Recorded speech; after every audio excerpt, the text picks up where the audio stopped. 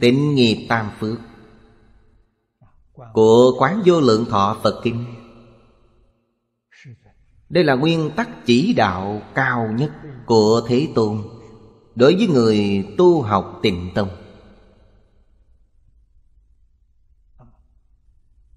Nội dung của nó không chỉ là tịnh tông. Có thể nói là Các tầng các phái, Tám dạng bốn ngàn pháp môn, Đều không thể rời nguyên tắc này. Rời nguyên tắc này tức không phải là Phật Pháp. Ba điều, mười một câu. Điều thứ nhất, Hiếu dưỡng phụ mẫu, Phụng sự sư trưởng, Từ tâm bất sát, Tu thập thiện nghiệp. Đây là điều thứ nhất. Điều thứ hai, Thọ trì tam quy, Cụ túc chúng giới, Bất phạm uy nghi. Điều thứ ba, Phát bồ đề tâm, Thâm tính nhân quả, Độc tụng đại thừa, Tuyển tấn hành giả. Phía sau đó, Phật nói rất rõ,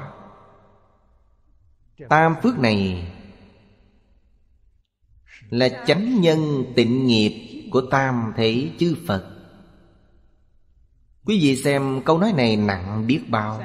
Tam thế là quá khứ hiện tại vị lai. Đây là gốc để người tu hành Thành Bồ Tát, thành Phật. Là chánh nhân. Vậy nếu quý vị không theo tam phước này Thì sẽ không thành tựu. Điều đầu tiên là hiếu dưỡng cha mẹ. Bất hiếu Thì người này vô dụng rồi. Trong đạo giáo dạng bất hiểu phụ mẫu Đều đọa tam đồ Quả báo là súc sanh, ngạ quỷ, địa ngục. Ở trong tam đồ làm sao chỉ có một chữ hiếu Mà hiện nay lại không ai biết? Bản thân tạo tội bất hiếu Tương lai đọa tam đồ Lại còn mơ mơ hồ hồ Không biết đọa vào đâu. Oan uổng Vì không ai dạy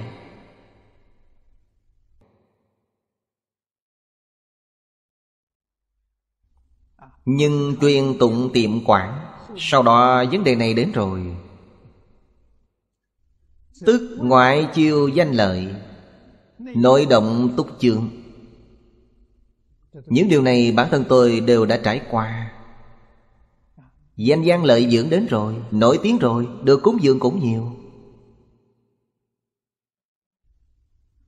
Nội động túc chương Chính là phiền não tập khí của mình từ trước Tham sân si mạng, Tài sắc danh thực thùy đều đến.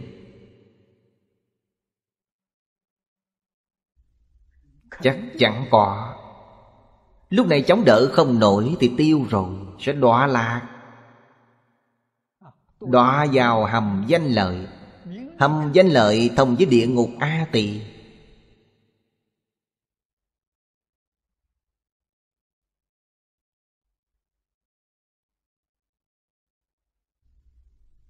Giới định huệ thông với Phật A-di-đà Thông với thế giới cực lạc Thông Đại Bác Niết Bàn Thông cõi thường tịch quan tịnh.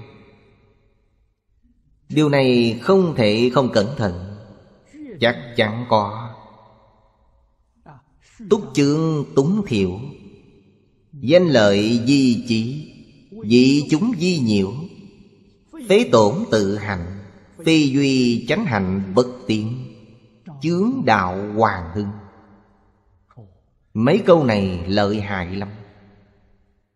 Không sai tí nào. Tuy thiện căn của quý vị sao vậy?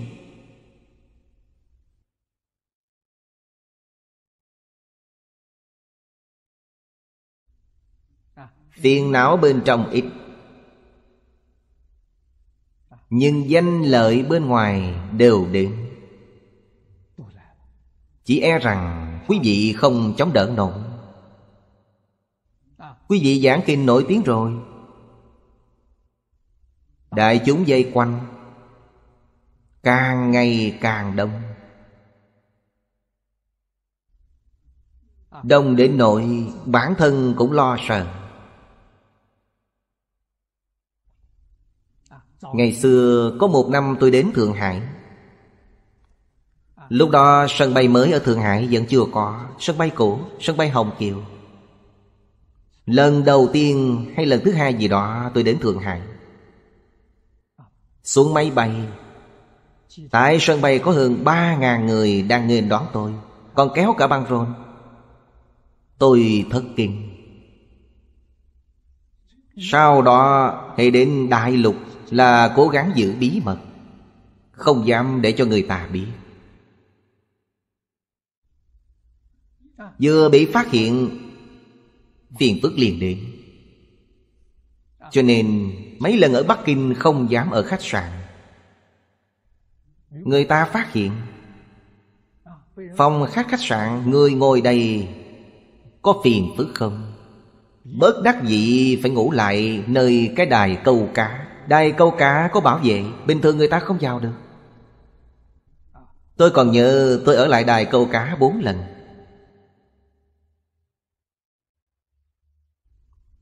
Không phải là việc tốt.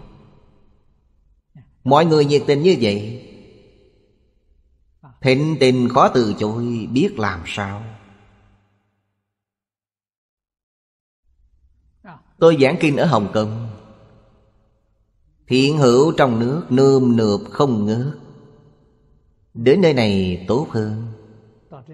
Nơi này thanh tịnh. Không ai tìm tôi nữa.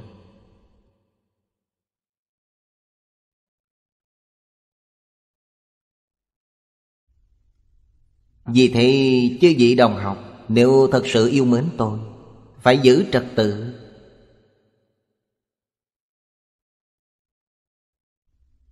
Hy vọng mỗi ngày chúng ta gặp nhau trên mạng, Gặp nhau trên truyền hình vệ tinh.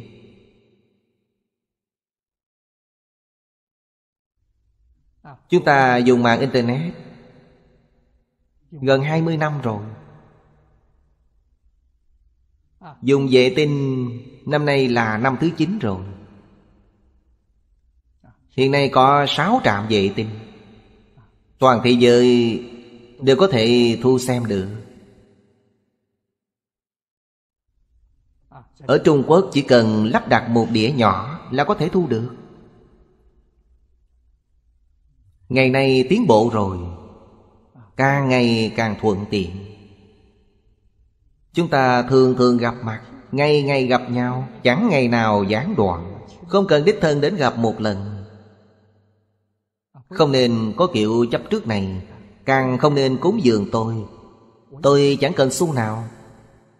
Hiện nay tôi không làm gì nữa. Trước đây còn cần ít tiền để làm việc từ thiện Này tuổi lớn rồi, Làm không nổi nữa, Chớ đưa tiền cho tôi. Tôi không còn sức lực để làm nữa. Mọi người nhất định phải thông cảm cho tôi. Có tiền thì sao? Làm nhiều việc tốt, ủng hộ giáo dục. Đặc biệt là ủng hộ giáo dục truyền thống, Điều này quan trọng hơn gì hết. Những điều này phải thường ghi nhớ trong tâm. Tốt nhất là học thuộc nó. Dưới đây nói rất hay, Duy đương tự miệng. Ở đây hoàn toàn dựa vào chính mình, Ư danh lợi tâm, an nhiên bất động.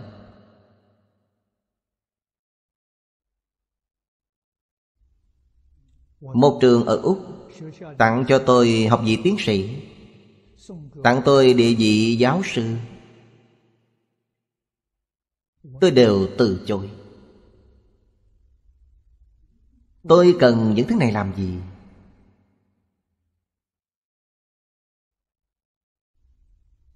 Hoàng Pháp lợi sanh tùy duyên.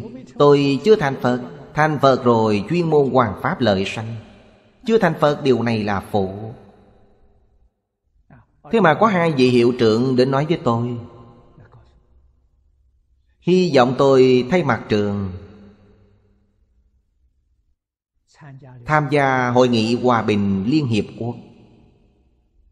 Liên Hiệp Quốc mời những người đều là học vị tiến sĩ. Đều là địa vị giáo sư. Họ cho rằng văn hóa truyền thống Trung Quốc Sẽ giúp ích cho hòa bình thế giới.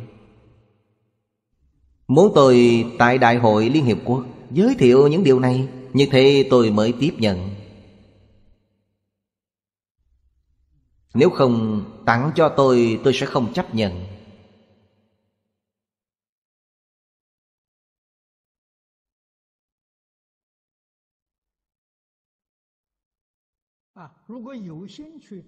Nếu như có tâm muốn lấy những học vị này, Sai rồi. Hiện nay chúng ta có lòng đến thế giới cực lạc Không thể đi làm những chuyện này. Những thứ này không ra khỏi sáu nẻo luân hồi. Nhất định phải an nhiên bất động, Phục tu nhẫn nại nội ngoại dinh nhục. Dinh là gì? Là người ta tán thán. Quý vị không nên sinh tâm ưa thích. Tâm ưa thích làm quý vị mê mờ.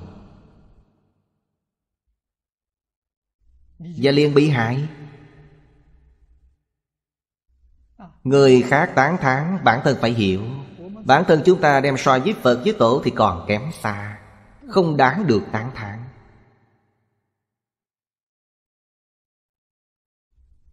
Người khác lăng nhục chúng ta thì phải nhẫn nại. Không thể sinh tâm oán hận. Họ tiêu trừ nghiệp chướng chúng ta. Kiếp này tôi không tạo nghiệp chướng Kiếp trước có tạo nghiệp chướng. Vô lượng đời đời kiếp kiếp đến nay Làm sao có thể không tạo nghiệp chướng? Những nghiệp chướng này làm sao tiêu trừ? Người khác chửi tôi, hủy bán tôi, hủy nhục tôi Chẳng phải là tiêu trừ nghiệp chướng giúp tôi sao? Chẳng những không có oán hận mà còn cảm ơn họ. Như vậy là đúng rồi. Cho nên bất luận là dinh hay nhục, Đều có thể an nhận. Sách lệ kỳ tâm. Khích lệ bản thân mới không đến nỗi đọa lạc. Nên gọi là an nhận. Đoạn cuối cùng, ly pháp ái. Điều này vô cùng quan trọng. Trong đoạn văn này, Thập thừa chi lý quán Năng phát cửu cảnh chi ma sự, Chính là do gì Pháp ái. Pháp ái là gì? Là sanh tâm tham luyện đối với Phật Pháp. Như vậy, phiền phức lắm. Ái là phiền não. Trong thất tình ngũ dục, Trong thất tình có hỷ nộ ai lạc, Tiếp theo là ái.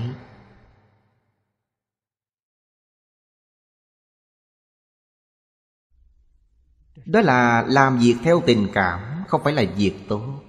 Cho nên ly pháp ái dạ. giả dị ư trung đạo chi pháp Diễn ly ái trước chi tâm. Quý vị không nên sanh khởi tâm tham ái đối với Phật Pháp. Có một số người giỏi Phật Pháp. Cổ nhân nói, Thế vị làm sao đậm bằng Pháp vị? Nếu tham trước Pháp vị Thì tiêu rồi.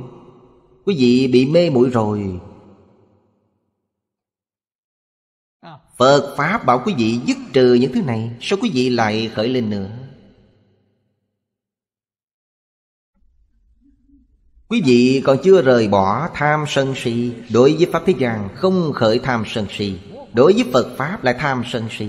Phật bảo quý vị đoạn trừ tham sân si, Chứ không bảo quý vị đổi đối tượng. Đổi đối tượng cũng đọa địa ngục như vậy. Tham đọa vào ngạ quỷ, Sân nhuế đọa địa ngục, Ngu si đọa làm súc sanh.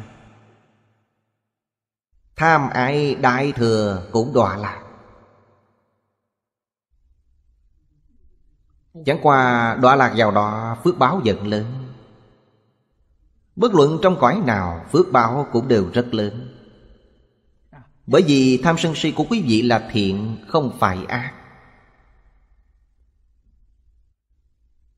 Trong cõi súc sanh Biến thành vật cưng nhà người ta Kiểu hưởng thọ này còn siêu việt hơn cả con người. Ai thấy cũng thích cũng thương. Đó là gì? Là đọa lạc đấy. Trong loài quỷ thì làm quỷ dương Làm thổ địa, làm thành hoàng. Đều là những người này. Do khởi tham ái nơi Pháp. Trong địa ngục thì thọ khổ nhẹ hơn người khác. Toàn làm những trò này, Không thể không biết. Cái nguồn Tu hành chi nhân, Tu tiền cửu chủng quan pháp. Chính pháp ở trước. Dĩ quá nội ngoại nhị chướng, Ứng nhập sơ trụ. Quý vị nương theo pháp này mà tu hành, Thật sự công phu lợi ích, Lẽ ra quý vị phải đạt được sơ trụ của viên giáo. Phải thành Phật. Nhưng như thế nào, quý vị chưa vào được? Nhi bất nhập giả, Quý vị chưa thể nhập. Vì sao chưa thể nhập?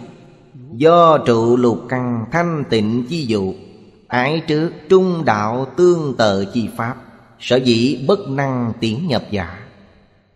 Phiền phức chính là ở đây vậy. Quý vị chấp trước đối với pháp môn mình tu học. Quý vị khởi tham ái đối với pháp môn.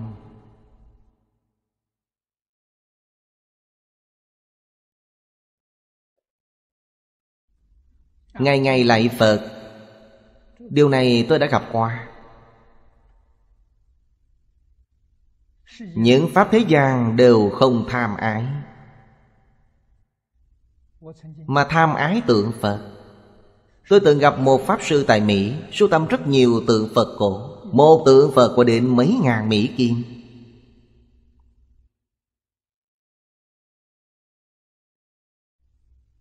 Quay như trân bảo.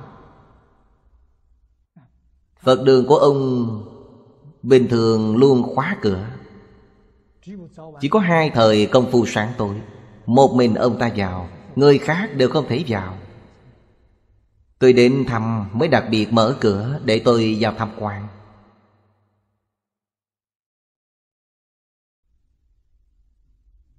Tôi thấy vô số tuyệt phẩm. Trong lòng tôi cũng nghĩ, Nếu như tham ái vào đó, Sau khi chết sẽ không rời chỗ này được. Vì lưu luyến trong căn phòng để tượng Phật này.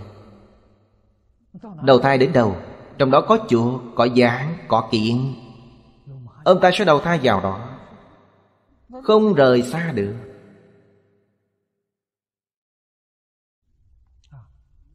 Trước đây tôi yêu thích kinh sách Sau đó không thích nữa. Vì sao vậy? Vì thích kinh sách Không nỡ bỏ kinh sách Tương lai sẽ đầu thai làm con mọt sách. Quý vị không rời được sách. Nghĩ đến đây thì lo sợ.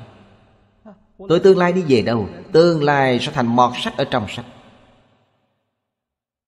Đó đều là thật, không giả dối tí nào. Không nên tham ái đối với bất cứ pháp nào cả. Người của tịnh tâm chúng ta Giống như địa vị hiện nay của chúng ta. Nếu tham ái Chỉ tham ái Phật A-di-đà Ở thế giới Tây Phương cực lạc. Tượng tên của Phật A-di-đà đều không tham ái. Tâm tôi chỉ chấp trước thế giới Tây Phương cực lạc. Vậy quý vị niệm A-di-đà Phật Được, sẽ giảng sanh đến đó. Sau khi sanh đến đó thì đoạn trừ tham ái này.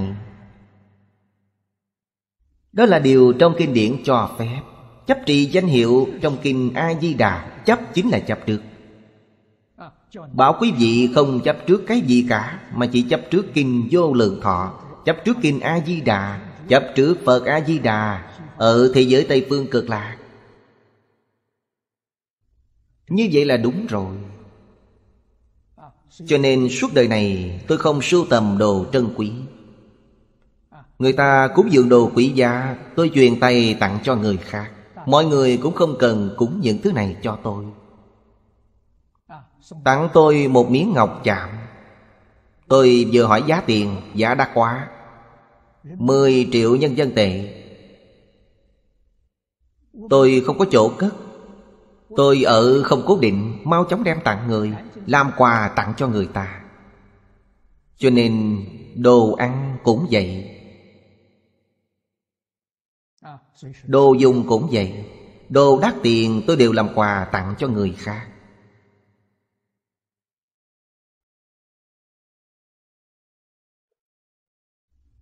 Chớ tặng những thứ này cho tôi nữa. Không tặng tôi, Tâm tôi thanh tịnh. Tặng tôi rồi, tôi còn phải nghĩ xem Những thứ này tặng cho ai thì thích hợp. Còn phải làm việc này. Không có thì tự tại, Nhẹ nhàng biết bao. Không sưu tầm gì cả. Một thứ cũng không Được đại tự tại.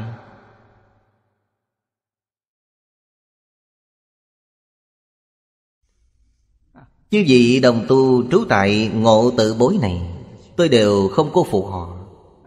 Thành lập đạo tràng này tuy không lớn lắm, Nhưng các vị có thể an nhẫn tu hành tại đạo tràng này. Chỉ cần có thể y giáo phụng hành, Ai ai cũng sẽ thành tựu. Các vị không chịu tu Thì ở đây hưởng phước cũng được. Phước hưởng hết rồi, Tương lai đi về đâu Thì mỗi người tự chịu trách nhiệm. Tôi chỉ khuyến quá mọi người giảng sanh thế giới cực lạc. Tôi không khuyên quý vị đi vào ba ác đạo. Tôi cũng không khuyên quý vị đến Pháp giới tử thánh. Tôi khuyên mọi người theo một phương hướng, Một mục tiêu là thế giới Tây Phương cực lạc. Cho nên hiện nay phải biết vấn đề của chúng ta để sợ. Sợ sanh tâm tham ái đối với Pháp. Bệnh này còn nghiêm trọng hơn những thứ bệnh khác. Nghiêm trọng hơn tham trước danh văn lợi dưỡng thế gian. Đã đem Phật Pháp tu học của quý vị biến thành ma Pháp.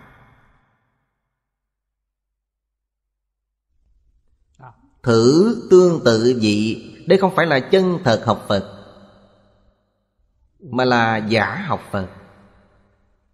Không có nội chướng ngoại chướng. Quý vị thật sự có chút công phu.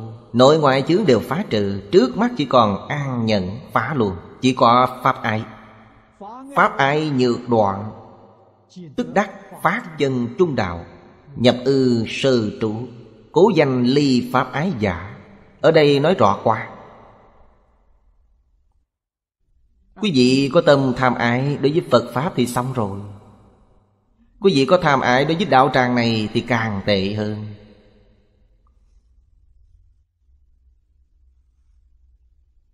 Sẽ ở trong sáu đường. Đời sau chắc chắn quý vị vào cõi súc sanh. Chính là súc sanh trong đạo tràng này. Đáng thương lắm. Nếu như còn mang những tâm tham ái, Tâm oán hận, Thì sẽ vào cõi địa ngục.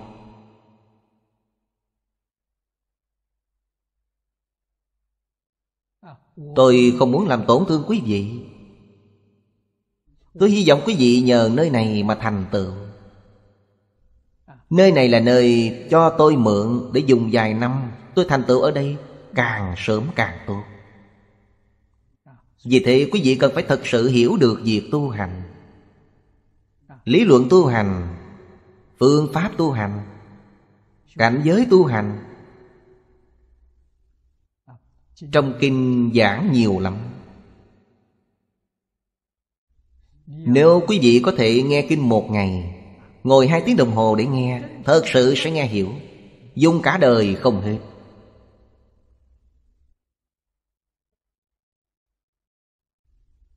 Quý vị sẽ được thành tựu.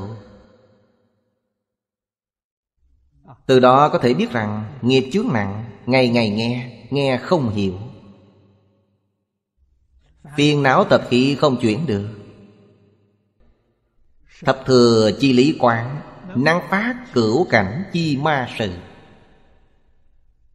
Dĩ ngũ ẩn sanh tử mê ám, chi pháp di cảnh cốt như vậy thì hỏng rồi. Chính là thập thừa chúng ta học hôm nay. Đã học qua rồi, có dùng được không? Không có. Chúng ta học rồi nhưng vẫn chưa vào được sơ trụ. Nguyên nhân là gì? Vì ngũ uẩn sanh tự mê ảm Lấy cái này làm cảnh giới. Chấp trước Tham luyện Không thể buông bỏ. Phật Pháp cũng bị biến thành ma sự. Chính cảnh này cũng chính là bốn ma Mà chúng ta học ở trước. Là phiền não ma, Ấm ma Tử ma.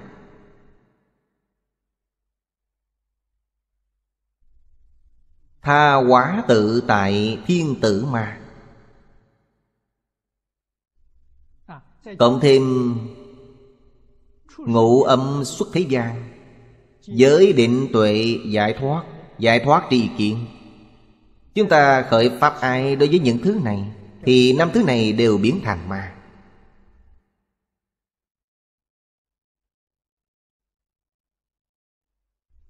Khó là khó ở chỗ này vậy. Quay trở lại xem tịnh độ. Tịnh độ chi sự quán. Dĩ di đà quả nhân Thanh tịnh chi công đức di cành cốt Diễn tuyệt ma sự. Từ sáng đến tối quý vị nghĩ đến A-di-đà Phật Niệm A-di-đà Phật Ái A-di-đà Phật Sẽ không mê muội. Vì sao vậy? Vì quý vị giảng sanh đến thế giới Tây Phương cực lạc. Quý vị chấp trước Ngài, thích Ngài.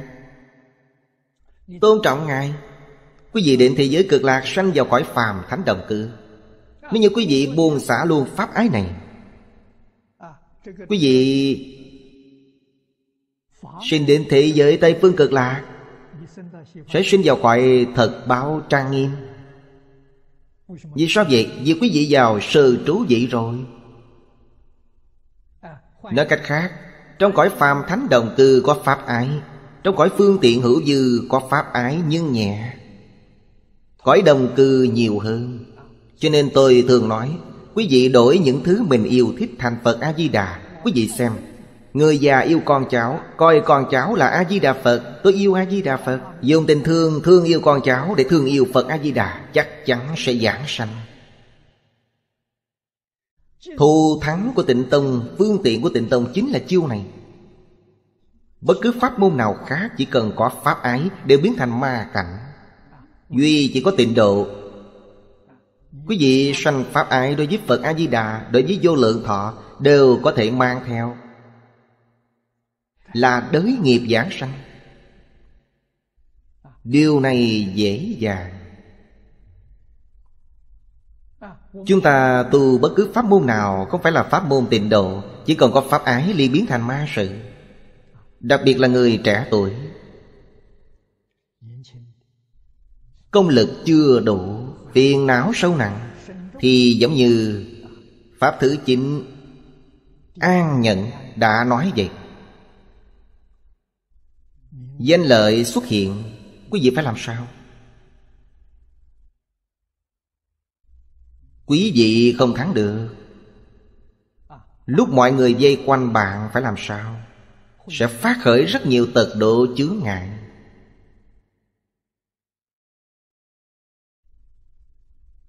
Những việc này, Đời này tôi đã từng trải qua. Bởi vì Những năm giảng kinh này, Khoảng gần 20 năm, Dùng mạng Internet, Dùng cáp về tin thỉnh chúng toàn thế giới đều có. Đi đến bất cứ đâu, Đều có người chào hỏi tôi. Đó là thính chúng.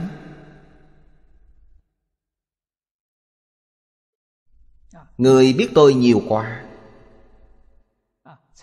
Tham gia mười mấy lần hội nghị Hòa bình Liên Hiệp Quốc.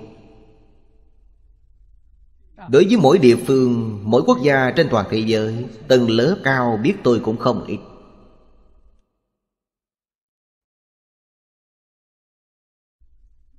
Người lãnh đạo cao không có vấn đề gì. Người trung hạ tầng vấn đề lại nhiều.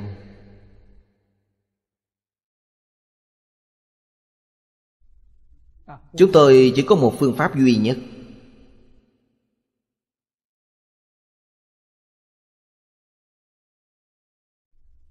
Là diễn ly.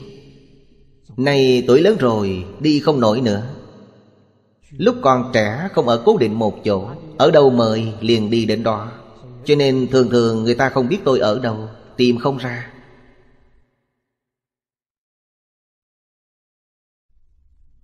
Hiện nay tuổi tác lớn rồi, đi không nổi nữa, Cũng không thích đi nữa.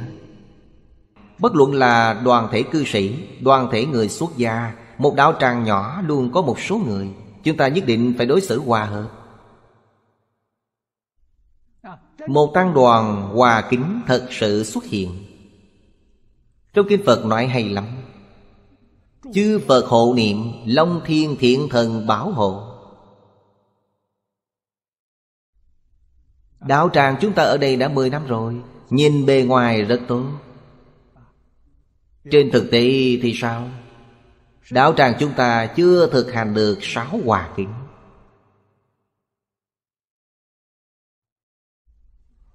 Mỗi người đều có cách nghĩ của riêng mình, Cách làm của riêng mình không hợp tác.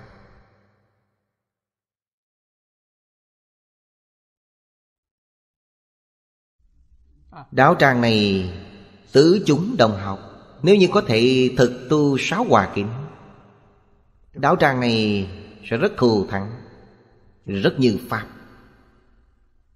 Tu sáu hòa kính nhất định phải quên mình vì người. Nếu mỗi mỗi đều tự tư tự lợi, Xem mình là số một, Người khác là thứ hai, thứ ba, Sáu hòa kính sẽ không bao giờ làm được.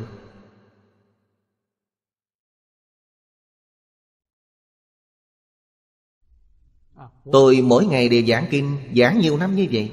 Đĩa băng ghi hình đều ghi tại chỗ này. Nghe không hiểu. Vì sao nghe không hiểu? Vì họ không buông xả. Cho nên tôi học Phật. Kinh nghiệm của tôi Tôi cũng thường nói cho mọi người nghe. Có thể để mọi người tham khảo. Tôi gặp người xuất gia lần đầu. Lần đầu tiên,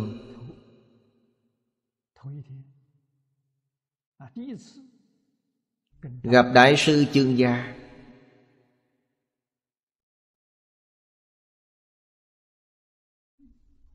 Tôi thỉnh giáo Đại sư Chương Gia. Tôi nói, tôi biết Phật giáo thù thắng. Phật giáo có phương pháp nào cho tôi nhanh chóng có thể khế nhập. Ngài dạy tôi sáu chữ, Nhìn được thấu buông xuống được Thì sẽ khế nhập.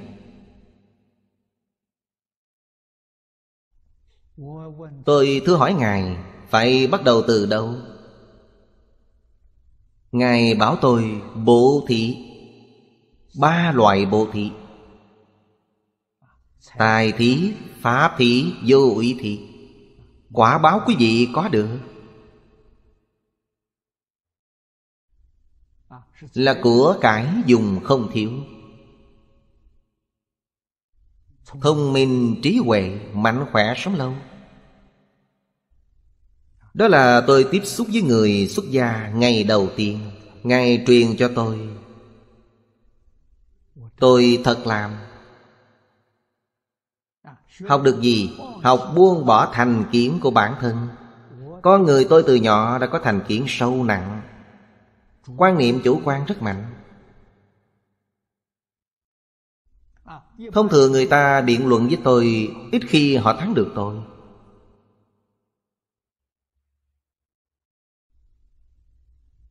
Tôi học Phật dần dần mới sửa đổi được cái tật này. Có thể nghe người khác.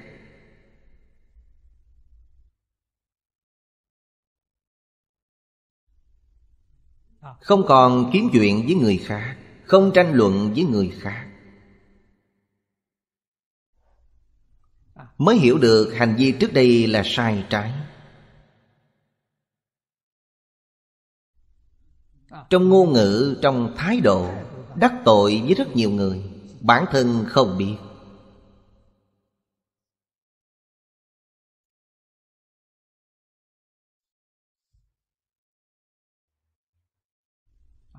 Nếu học Phật mà những tật này không sửa, Thì pháp duyên của quý vị đã bị đoạn tuyệt.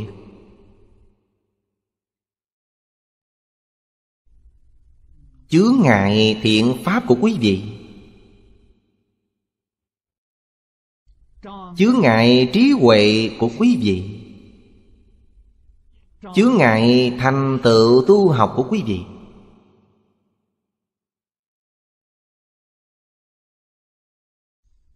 Nói cách khác Những tật này không sửa được. Kết quả đời này quý vị vẫn làm lục đạo phàm phu. Không thể ra khỏi lục đạo luân hồi. Đây là một việc bi thảm biết nhường nào. Vì sao nghe kinh nghe không hiểu? Vì tâm thành kính không có. Ấn quan đại sư nói như vậy Tôi cũng thường nhắc nhở mọi người nhưng mọi người không giác ngộ, Không tự nhắc nhở. Ấn quan đại sư thường nói, Một phần thành kính được một phần lợi ích, Mười phần thành kính được mười phần lợi ích. Ngày nay chúng ta tâm thành kính Đối với kinh giáo Không sinh khởi được. Vậy tâm thành kính đối với cái gì mới khởi được? Đó là danh lợi. Trong tâm chỉ có danh lợi. Danh văn lợi dưỡng, Đối với kinh giáo không thành kính, Đối với đạo đức không thành kính, Đối với luân lý không thành kính, Đối với tất cả không thành kính. Chỉ đối với danh văn lợi dưỡng, Vậy thì tiêu rồi. Danh văn lợi dưỡng không buông xuống được, Học Phật cũng đọa vào ba đường ác, Đọa địa ngục.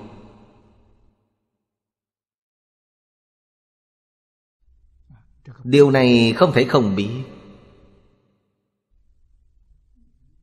Bản thân buổi tối trước khi ngủ, Cẩn thận nghĩ xem, Đời này tôi đi là đi trên con đường nào?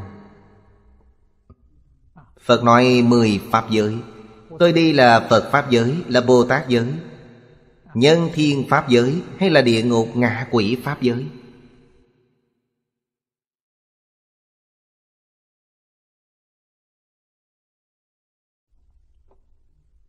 Kinh điển không quen thuộc.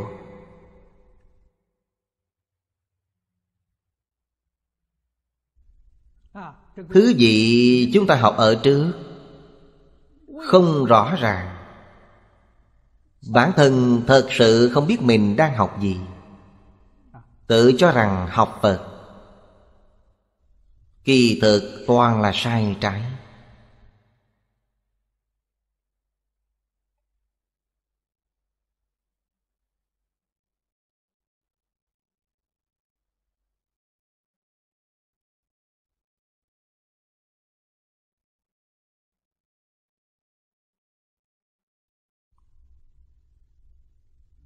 Thật sự tôi học Phật với Đại sư Chương Gia ba năm. Không uổng phí. Nếu tôi không theo Ngài ba năm, Vấn đề sẽ nhiều lắm. Nền tảng Phật học của tôi Đều do Ngài khai mở. Ngài bảo tôi học theo Đức Phật Thích Ca Mâu Ni. Vậy tôi không thể xa rời kinh giáo.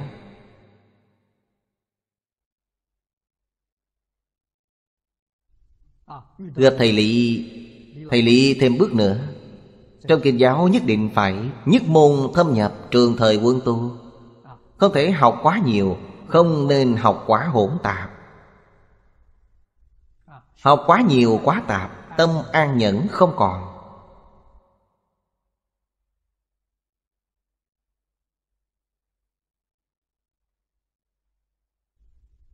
Cho nên người tu hành đầu tiên phải tâm thanh tịnh. Bất luận ở trong hoàn cảnh nào, Cũng không bị ngoại cảnh ảnh hưởng, Không bị bên ngoài mê hoặc. Đó gọi là an nhận Không ngăn được mê hoặc. Sẽ bị cảnh giới bên ngoài ảnh hưởng, Sẽ không thành công. Tịnh nghi tam phước. Của Quán Vô Lượng Thọ Phật Kinh. Đây là nguyên tắc chỉ đạo cao nhất của Thế Tôn Đối với người tu học tịnh tông.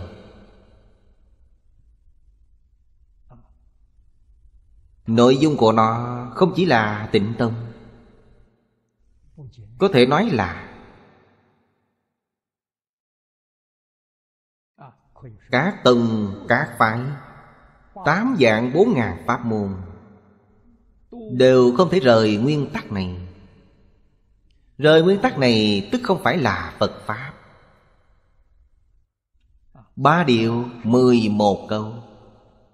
Điều thứ nhất Hiếu dưỡng phụ mẫu Phụng sự sư trưởng Từ tâm bất sát Tu thập thiện nghiệp. Đây là điều thứ nhất. Điều thứ hai, Thọ trì tam quy, Cụ túc chúng giới, Bất phạm uy nghi. Điều thứ ba, Phát bồ đề tâm, Thâm tín nhân quả. Độc tụng đại thừa, Tuyển tấn hành giả. Phía sau đó, Phật nói rất rõ, Tam phước này Là chánh nhân tịnh nghiệp Của tam thể chư Phật. Quý vị xem câu nói này nặng biết bao. Tam thế là quá khứ hiện tại vị lai. Đây là gốc để người tu hành Thành Bồ Tát, thành Phật. Là chánh nhân. Vậy nếu quý vị không theo tam phước này Thì sẽ không thành tựu. Điều đầu tiên là hiếu dưỡng cha mẹ. Bất hiếu Thì người này vô dụng rồi.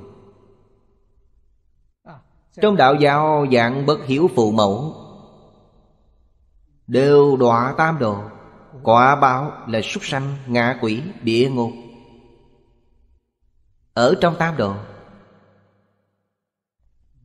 làm sao chỉ có một chữ hiếu Mà hiện nay lại không ai biết? Bản thân tạo tội bất hiếu Tương lai đọa tam đồ Lại còn mơ mơ hồ hồ Không biết đọa vào đâu. Oan uổng Vì không ai dạy cho nên mười mấy năm lại đây, Chúng tôi đặc biệt đề xuất đệ tử quy Hiếu thân tôn sư, Phải học đệ tử quy làm được đệ tử quy Hiếu thân tôn sư làm được rồi. Từ tâm bất sát. Chúng ta học Thái Thượng Cảm ứng Thiên. Giáo dục nhân quả. Đúng là giết người đền mạng, Hiểu nợ phải trả nợ. Hiểu được đạo lý này, Hiểu được nhân quả. Thì khởi tâm động niệm, Đều không dám làm việc phi pháp.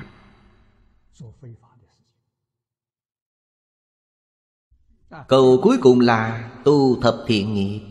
Cho nên đây chính là ba cái gốc của nho thiết đạo.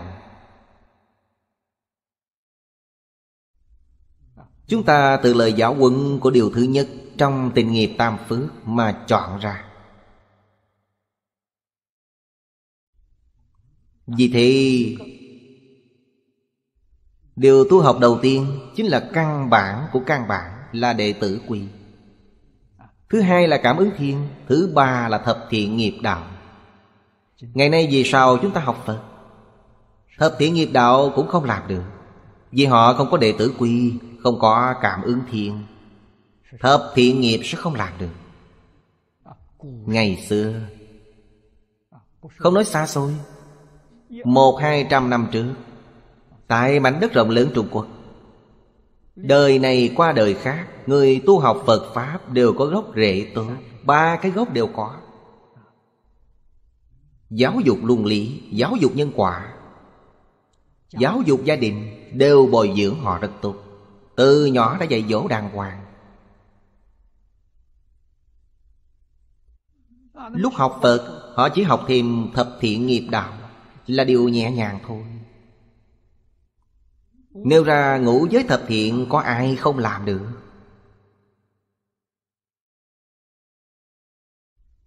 Ngày nay không được. Hiện nay tại gia học Phật, Thập thiện nghiệp đạo không làm được. Suốt gia học Phật, Sa di lục nghi làm không được. Cho nên toàn là giả, Không phải thật. Nếu thật sự học Phật, Thật sự có thể làm được.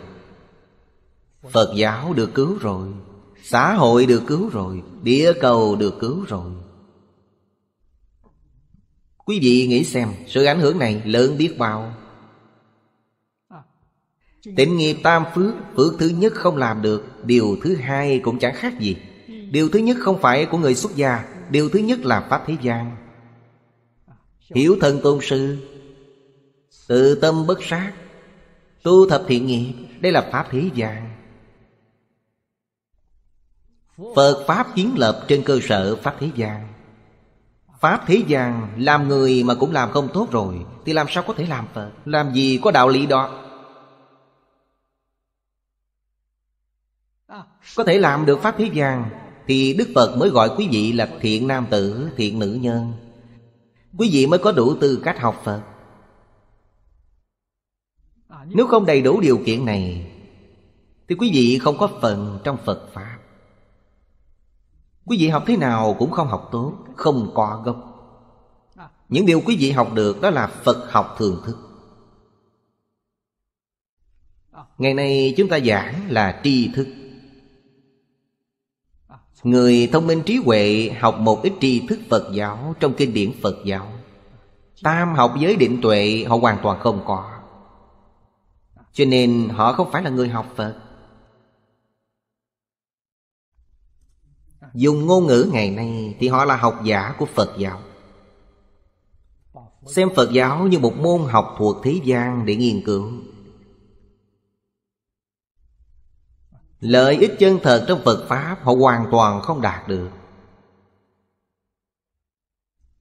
Họ không thể hiểu, Họ cũng không thể khế nhập.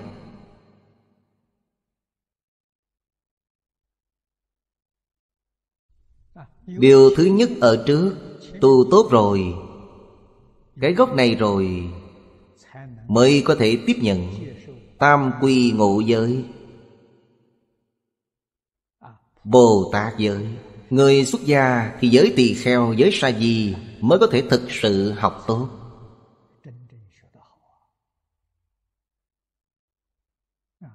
Ngày nay gốc rễ hư rồi Không còn gốc rễ nữa. Chúng ta hiểu rõ Không học bù vào Không công phu tu tập Thì cũng hết cách rồi. Niệm Phật giảng sanh, Tất nhiên phải nhờ vào thiện căn Trong đời quá khứ. Vì sao vậy? Vì đời này thiện căn của chúng ta ít ỏi quá. Nhất định phải nhờ thiện căn phước đức Của những kiếp trước. Trong đời này gặp duyên thành thục, Như vậy mới được giảng sanh. Đó chính là trong thời đại này, Người niệm Phật rất nhiều, Người giảng sanh rất ít. Nguyên nhân ở đây vậy Không thể không biết.